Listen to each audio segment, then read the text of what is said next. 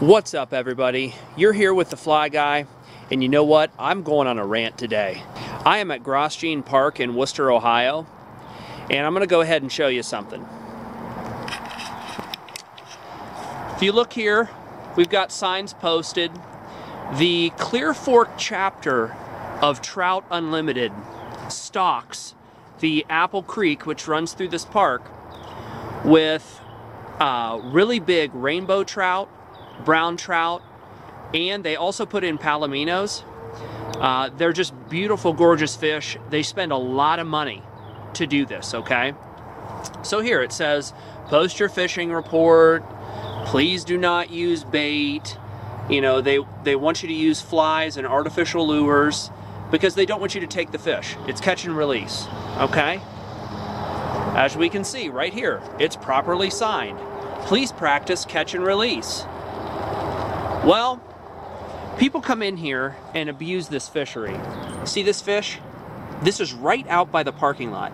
Somebody took this big trout and threw it right on the ground instead of releasing it back into the water so that somebody else could catch it.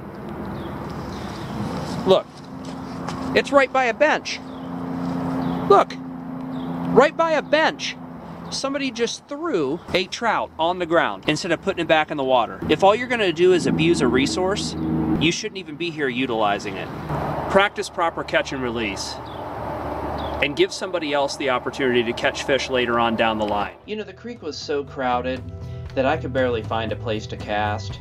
And I walked up and down uh, the stream just trying to find an open place to fish. I only ended up making a few casts. I don't mind seeing other fishermen around, but there were just too many people there on a very small body of water, and it really just kind of took the fun out of it. But I did end up meeting uh, a nice fish, couple nice fishermen actually along the way. I met a guy named Phil, and when we were talking, he actually hooked into a nice palomino, so I went ahead and gave him a net. You know, this fishery uh, is a stock-only fishery, uh, and you know, it's just a place that I come to maybe once a year maybe twice. You know, just to kind of, you know, fish for something uh, during the, you know, late fall, early winter uh, here in Ohio when not too much else is going on. If you're going to utilize a fishery like this, please try your best to use catch and release. It's so important, especially with all the pressure that it's now receiving.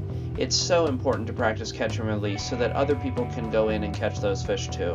I just want to take a second to thank Trout Unlimited for all the hard work that they do uh, to keep this stream clean and for all the stocking opportunities that they provide for area fishermen. If you like this video, go ahead and hit thumbs up. And if you haven't already, go ahead and subscribe to my channel for more content. Thanks again for watching, everybody. Take care, and we'll catch you next time.